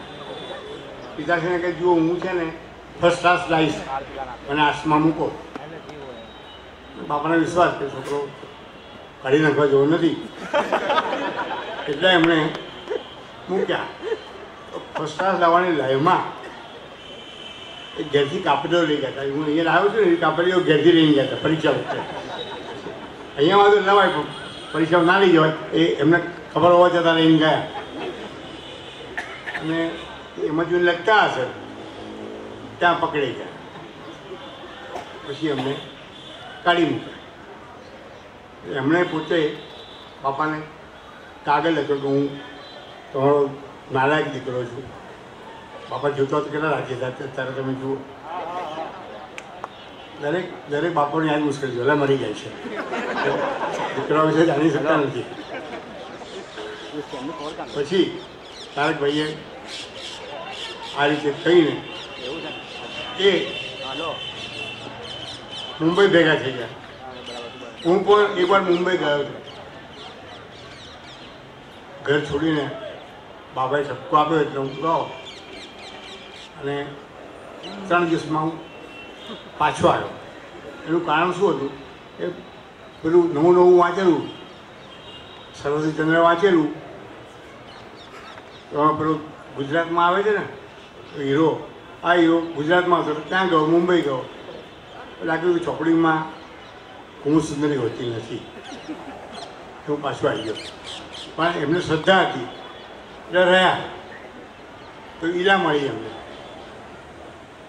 ઈલા સાથે પ્રેમ લગ્ન કર્યા. પછી એક દીકરી પણ છે એનાથી. ઈલાબેન, આ માણસ એકદમ એટલો બધો પારદર્શક છે ને, ત્યારે ખબર નહીં કે પત્ની આગળ પારદર્શક ના થવાય. હસવા જેવું નથી, ખરું છે. તમે સાચો છો. પછી, એટલે એને કારણે પતિ પત્ની વચ્ચે માથા ડિવોર્સ થઈ ગયા. પછી, પણ મિત્રતા એવી ને, તારકભાઈની ઈરાબેન સાથે રેડિયો એ તો રેડિયો જ હતા, ટીવી તો હતા જ તો એ બે જણા પતિ પત્નીનો રોલ રેડિયો પર કરે, નાટકોમાં. બહુ સારી મિત્રતા એકવાર ઈરાબેને પૂછ્યું કે ત્રણ જણા ભણવા તૈયાર છે મારી જોડે, હું કોને ભણવું એ ત્રણમાં બે નાટકવાળા છે. અને એક રંગનો વેપારી કોને ભણવું તારકભાઈ એક કામ કર નાટક ના ભણીશ. જો મને પડીને ફરી પાછું આ થશે તું રંગના વેપારીને પણ કારણ કે એની પાસે એ રંગીન માણસ છે. એ એને પછી એ પરણે આ બાજુ તારકભાઈ. તો એક હિન્દુબેને મળ્યા. લગ્ન કરવાની ઈચ્છા વ્યક્ત કરી. એટલે કે તે મારી ડાયરીઓ જો વાંચી જા પહેલાં. લફા સદન જોઈ જા બધું. આવું કોણ કે યાર? કોણ કે? અને પછી જો આ બધી હકીકત છે. શોભિત, એટલે એમની એગ્રીમેન્ટ કહું છું. પાછળ નથી કહેતો. એ આપણી કેવું નથી. તો છે ને તારે કે બીજા ડાયરી વાંચી છે પછી તારું મન થાય તો આવજે. મારે ડાયરી વાંચવી નથી. પણ પણ સ્વભાવ એવું કે બહુ બહુ પેલો હતો. જુવાન હતા અને શોર્ટ ટેમ્પર બાપા, બાપાનો વાસો લીધેલો પૂરો પૂરો એટલે ક્યારે ગુસ્સો થાય ને, તો ઘરથી ખાધા જતા રહે. હિન્દુબેન જોડે ઝઘડીને એટલે હિન્દુબેન ફોન કરીને ઈરાને કહે ઈરાબેન જુઓ ને આટલો છે ને નેતા ગુસ્સે થઈને ગયા છે, ખાધા વગર ગયા છે. એટલે ઈલાબેન પછી તારકને ફોન કરે, કેમ ડબડા ફેંકવા માંડ્યા છે? હું તો ના ગમી આઈ ના ગમી. સુધરો સુધરો. બીજી રડી રડીને અડધી થઈ ગઈ, જાઓ ઘેર જાઓ. ચલો. આજ્ઞા કીધી પતિ તરીકે નહોતા, પણ પતિ મટ્યા પછી થઈ ગયા.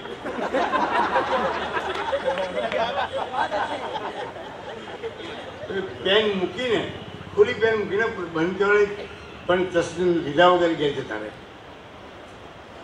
પછી ત્યારે કેવું બને કે આ ચાર જણા સાથે ફરવા જાય.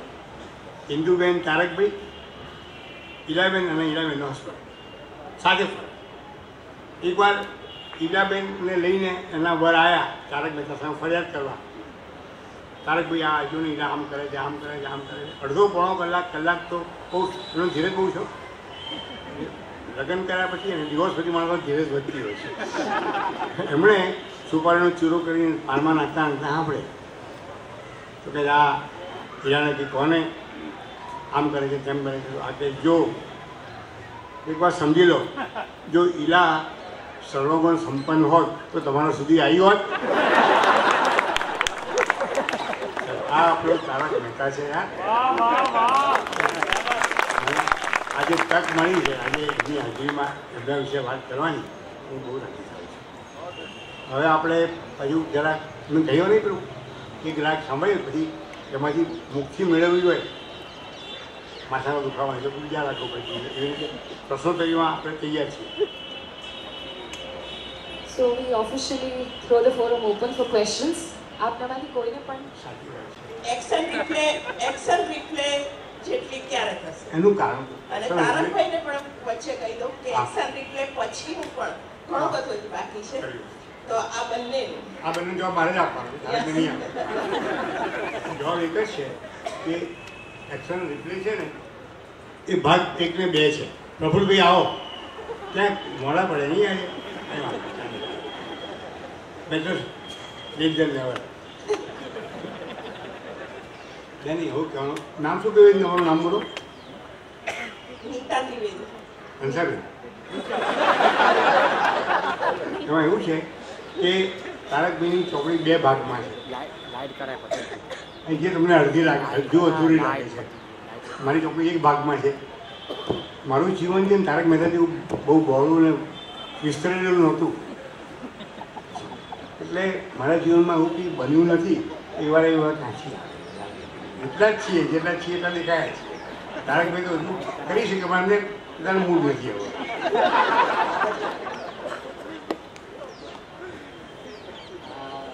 સર તમે સાહિત્યકાર થઈ અને આટલી સરળ ભાષામાં કેવી રીતે લખી શકો છો? સાહિત્યકાર શું તમે માનો છો ને? મુશ્કેલ એટલે છે તમે આવી જતો વાંધો નથી. જવાબ જરા સાહેબ લાંબો આપું છું. એમાં એવું છે. કે સાહિત્યકાર, અહીંયા તો સાહિત્યકાર, સાક્ષર, એવું બધું બોલાય છે. કોલમિસ્ટો એને આપણે સાક્ષર કહીએ છીએ. પણ મરાઠીમાં છે ને, એક સરસ શબ્દ છે, સાક્ષર. એનો શું અર્થ થાય ખબર છે? સાક્ષર એટલે અક્ષર જ્ઞાનનું, જેને જ્ઞાન હોય, અક્ષર જ્ઞાન ધરાવનાર માણસ એટલે સાક્ષર. એટલે એ તો સમજ્યા આપણે.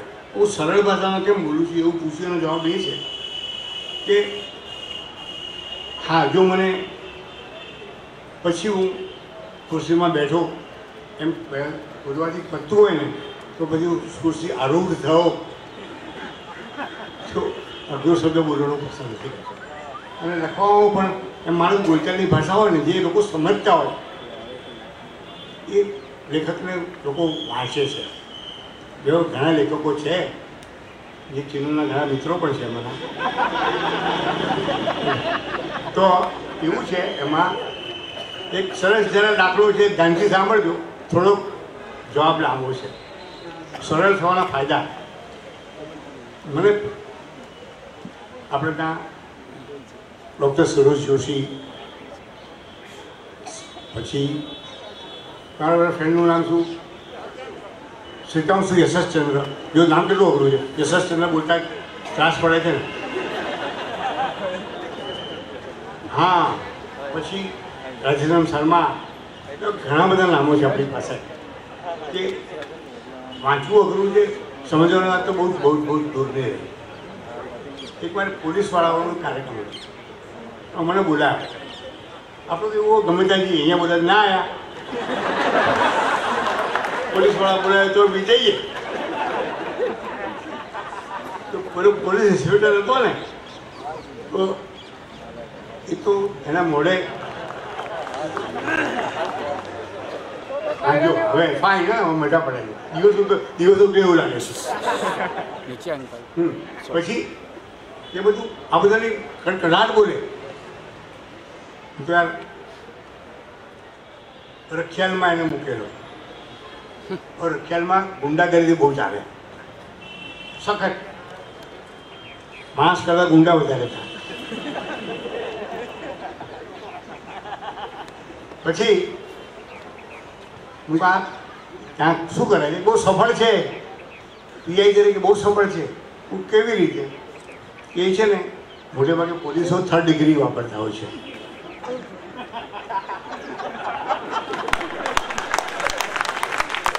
બરફની પાટ પર સુવાડે, પંખા ઉપર લટકાવે, અને પગના નખ ખેંચી કાઢે.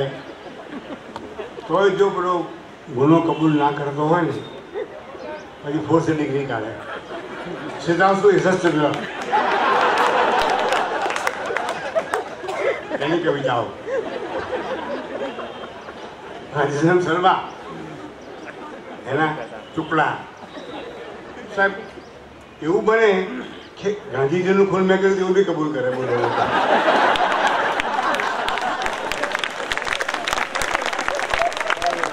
ફાયદો બીજો હતો કે કોઈ ગુનેગારને કે કોર્ટમાં નહીં પછી પૂછે એને મારઝૂડ કરી હતી? તો હા, બધા આ સોજા છે, જો સાહેબ, મને નીકળ્યું, ઘા પડ્યા. એવું કે આમાં તો કંઈ બી ના એવું મૂળ માર માર્યો હોય ને કવિતાનો. દેખાય પણ નહીં, જજ માને પણ નહીં. એટલે આ બધું હોવાને કારણે તો સરળ સાદી ભાષામાં લખી શકાતું હોય ને તો મળ્યું લખે તો પ્રાપ્ત થયું એવું ના લખું. મળ્યું જ લખું. એ વાત એક જ છે ને યાર. શા માટે ભાઈ ખોટે ખોટું? હા ચલો બીજો પ્રશ્ન છે કોઈનો? આવો. બાબા તારે પૂછવું એ પૂછે સર બાબો છે બાબો છે. બારણામાંથી આવે છે. બારણામાંથી. સર તમે અમેરિકાનો પ્રવાસ કર્યો એમાં તમને કોઈ યાદગાર ઘટના કે ત્યાંનું અમુક એક્સપિરિયન્સ જે તમને યાદ આવ્યો હોય? એક જ યાદ આવે કહું છું અમેરિકા ગયા પહેલાંનું કહું છું. એવું હતું. હા પ્રફુલભાઈ પ્રફુલભાઈ નાયક બેઠા છે સામે. ના નાના ભાઈ હા, મને ખબર છે પણ તું મને કેમ યાદ કરાવે છે? જે માણસ મને લઈ ગયો છે એ મને યાદ ન હોય. અહીંથી અમેરિકા લઈ ગયો હોય એ પાછો પાછો મૂકી ગયો છે. એટલે વધારે યાદ છે. એ મને પહેલી વાર અમેરિકા જવાનું હતું. પછી હું ને સંજય વૈદ્ય એ ફોટોગ્રાફર છે. એ એ પણ અમારી સાથે એને આવવાનું હતું ને અમે સાથે અહીંથી ગયા. વિઝા માટે વિઝા માટે એવું છે કે તમારે પોતે જવું પડે. કહે છે ને કે આપ મુઆ વગર સ્વર્ગે ન જવાય એમ. એમ બીજા જીવતો હોય તો પોતે રૂબરૂમાં જવું પડે. સિવાય કે તમારું નામ નરેન્દ્ર મોદી હોય તો જુદી વાત છે. અત્યારની વાત છે. જૂના મોદીની તો પછી અમે ગયા.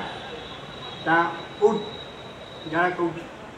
રામરોટીમાં ભીખ મોકા ઊભા થયો ને એવી રીતે લાઈનમાં ઊભા રહેવાનું. પછી પેલું પહેરેજી આવે. ચલો ભાઈ સાઈડમાં હોય જાઓ. એને હવે નોકરો, દસ નોકરો ઘેર હોય અહીંયા એને સાઈડમાંથી જવું પડે. માજી, જરા આગે વળો આગળ વળો.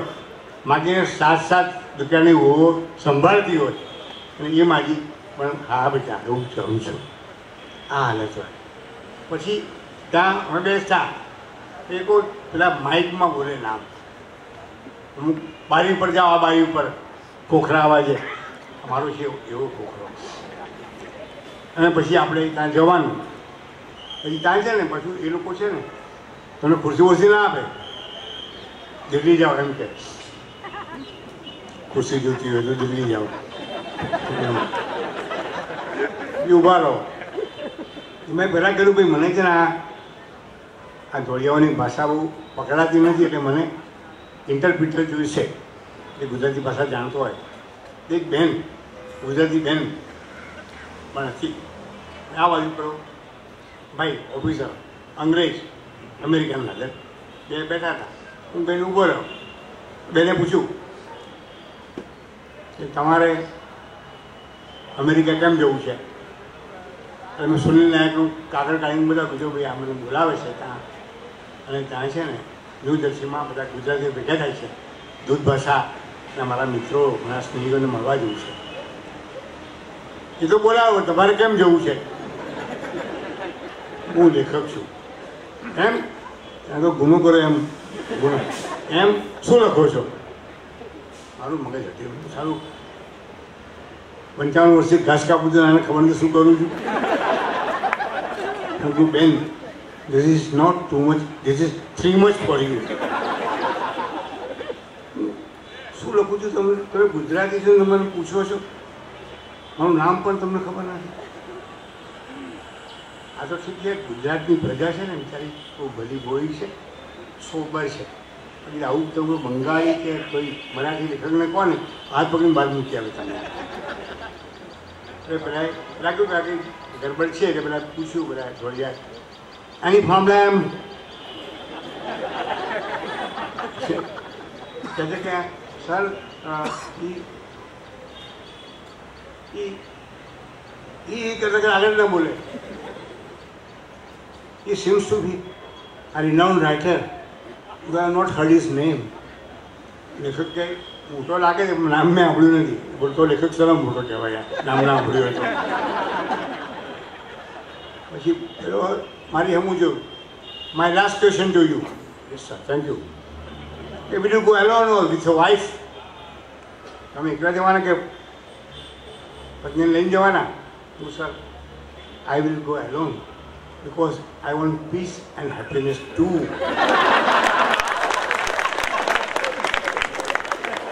Vinayak સાહેબ તરત જ છે ને કીધું કે દસ વર્ષ માટેના તમને વિઝા મળી ગયા એટલે ક્યારેક છે ને કરગરવા કરતાં કે ગરજ બતાવવા કરતાં ગર્જના કરવાથી કામ થતું હોય છે. પણ ક્યારેક છે. ચલો આગળ. વિનોદભાઈ કશું ન લખી શક્યા અત્યાર સુધી ન લખી શક્યાનો ખેદ અથવા લખી કાઢ્યાનો ક્ષોભ ખરો? હા હા. ફરી વાર એ સવાલ બોલો ફરી વાર બોલો સવાલ. કશું હજુ સુધી ન લખી શક્યા એનો ખેદ અથવા લખી કાઢ્યું છે એમાંનો કશાકનો ક્ષોભ ખરો? લખી કાઢી દેલો નથી. નહીં લખ્યાનો ખરો. કયો? હજુ મેં મારી મૃત્યુનું જ લખી નથી.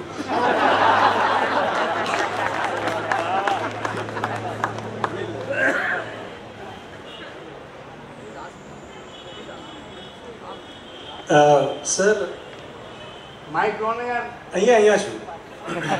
માઇક ક્યાં છે?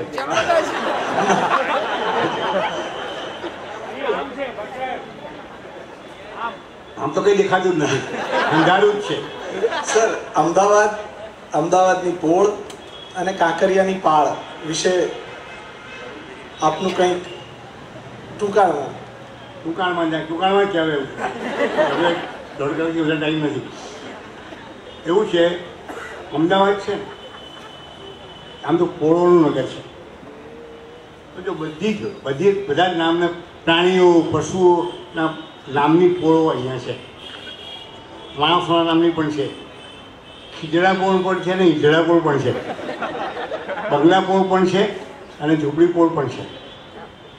અને બકરી પોળ પણ છે અને વાઘર પોળ પણ છે. જો કે બકરી પોળ અને પોળ વચ્ચે અંતર થોડું સલામત રાખ્યું છે. બકરીઓ માટે. એ જ રીતે અમદાવાદમાં રામાવાડાની પોળ પણ છે ને પખાડીની પોળ પણ છે. ક્યારેક તોફાનો થતા નથી. મોદી દિલ્હી હોય છે ત્યાં થતા નથી, બોલો. તો જ્યારે તોફાનો થતા ને, ત્યારે છે ને રામાવાડાની પોળના છોકરાઓ છે ને પથ્થર મારો કરે પોલીસ પર. એ પોલીસ આડે ધડ દોડા દોડીને જાય હાથમાં આવે ને મારે, તો પહેલાં હંતાઈ જાય છોકરા. લાંબા પડાની પોણા છોકરા હંતાઈ જાય પખાડાની પોણા છોકરા જલાઈ જાય એટલે જીવવા માંડે એટલે કહેવત એટલે કહેવત પડી છે કે ફાડાના માટે પખાડીને ડામ આ કહેવત ત્યાં સુધી એટલી એટલી જ જૂની, બહુ બહુ જૂની નથી. હા, લોકો ભલે ત્યારે બધા લખવાવાળા. પછી આ. એ તમને કોઈ નવો માણસ આવ્યો ગામમાં તદ્દન નવો છે, અજાણ્યો છે. હવે એને ખબર નથી હું કયા એરિયામાં ફરું છું? પણ જો, જે એરિયામાં ગાયો ફરતી હોય, ચરતી હોય, ચરતી ના હોય તો છાપાની પસ્તી બાગોળતી હોય. જે સમાચાર આપણા ઘરે ના ઉતરે, એ સમાચાર પોતાના ઘરે ઉતારવા પ્રયત્ન કરતી હોય.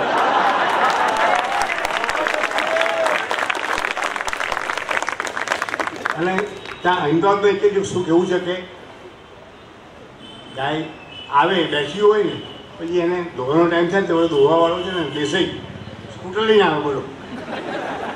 સ્કૂટર લઈને ગાયને ધોવા આવે. એ અમેરિકામાં કોઈ કરી શકતું નથી. કોઈને એમ પ્રશ્ન થાય કે પેટ્રોલ તો બહુ મોંઘું છે. તો કેવી રીતે આવે? લોકો એ લોકોને છે ને પાણીના ભાવે પેટ્રોલ મળી રહેતું હોય છે.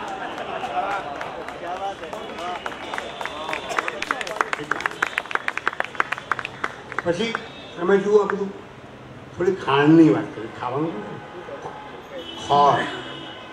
તો પહેલાં કપાસનો ખોળ ગાયો અને દોરવા માટે હતો. ધીરે ધીરે આપણા સુધી પહોંચ્યું. કપાસિયાનું તેલ. જો ઢોરો ખાતા હતા, એ માણસો ખાવા મળ્યા. ઘાસચારા રૂપે ખાવા મળ્યા.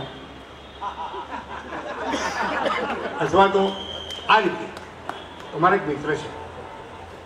ત્યાં રહેશે સૌરાષ્ટ્રમાં. નાગર છે. મેં જોયું જો કે ક્યાં ગઈ જતા છે બાકી નાગરોમાં હ્યુમર બહુ સારી, હો. આપણે વાત કરું બધી નાગરની વાત કરું, તમારી જ વાત કરું પછી છે ને, એ નવું નવું તેલ ઇન્ટ્રોડ્યુસ થયું, બજારમાં આવ્યું. તો કે પૂછ્યું કે સચુભાઈ ખબર પડી કપાસનું તેલ બજારમાં આવ્યું હા, ખબર પડી. ચાખ્યું કે ઓવે. કેવું રહ્યું કે ભાંભરવાનું મન થાય છે?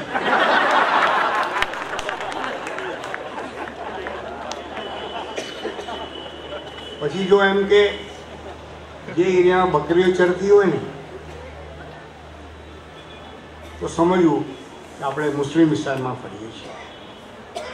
અને ધારો કે ધારો કે ધારો કે તમને આગળ જતા ભૂંડ જોવા મળે તો માનજો કે તમે ગાંધીનગરની ભગોળમાં પહોંચી ગયા હવે બીજો પ્રશ્ન હવે અમદાવાદ ગયું ચાલો નાગરનો કંઈ પૂછ્યું તમારે ભાગ્યેશભાઈ we have a last question last પૂછો લાસ્ટ એટલે ઇન ધ સેન્સ કાર્યક્રમ પૂરો થોડો કલાક થઈ ગયો. હા. શું વાત કરો છો? બહુ સરસ તો લાસ્ટ ક્વેશ્ચન ચલો હા મારે કરવાનું છે?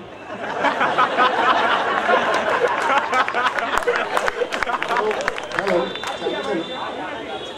hello. મારો પ્રશ્ન નથી પણ એક પ્રસ્તાવ છે વિનુભાઈ અને ધુરંધર સાહિત્યકારો અને જે છે બધાને. કે અત્યારે જે આનંદ આવ્યો એ બરાબર છે. પણ આ આનંદ આપણને ભવિષ્યમાં ચાલુ ને ચાલુ રહે એટલા માટે એવી એક પેઢી તૈયાર કરવી કે જે પેઢી આ પ્રવાહને ચાલુ ને ચાલુ રાખે એ મારી આપ સૌને વિનંતી. એક મિનિટ એક મિનિટ એક મિનિટ. તમે બે કહો જે વિનંતી કરો કોઈની કોઈની હવે એ ઉંમર નથી કે પેઢી આગળ ચાલુ રાખી શકે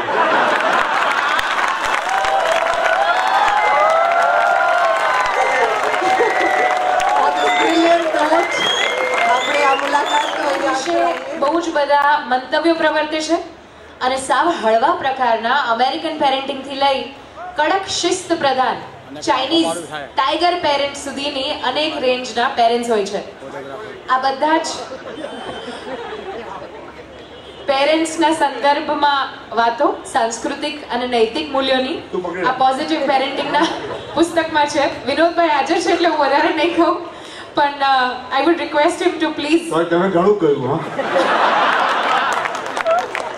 એક ભૂલ થઈ ગઈ મારી sorry it's okay okay no problem બેટા. આ પ્રશાંત દેવાણી છે. એ મારા પરિવારનો લેખક છે. એ દિવ્ય ભાસ્કરમાં એમની કોલમ આવે છે ને મારી કોલમ પણ આવે છે. મારી કોલમ આવે એનું કારણ એક જ છે કે આના જે માલિકો છે ને એ બિન ગુજરાતી છે. ગુજરાતી વાંચતા નથી એટલે મારી કોલમ ચાલે છે? એટલે પ્રશાંતભાઈનું આ પુસ્તક છે ને, એ હાસ્યરસનું પુસ્તક નથી, એટલે એનું વિમોચન કરવાની મેં હા પાડેલી. કારણ કે કોઈ આપણા પેટ ઉપર પાટું મારે ને, આપણને ગમતું હોતું નથી. પણ પ્રશાંતજી ખૂબ જ ખૂબ જ આવા અનેક પુસ્તકો તમારા મળતા રહે બધાને, અને આ મોટા મોટી સેવા છે. થેન્ક યુ વેરી મચ પણ દોઢ કલાક પૂરો કાંઈ તો ખબર ના પડી. હવે એક પુસ્તક બધા બતાવું હું બતાવું તમે બતાવો તમે બતાવો. આ તમારું લખેલું બતાવો ને ખબર તો પડે. એન્ડ વિથ ધીસ ઊભા જવાય.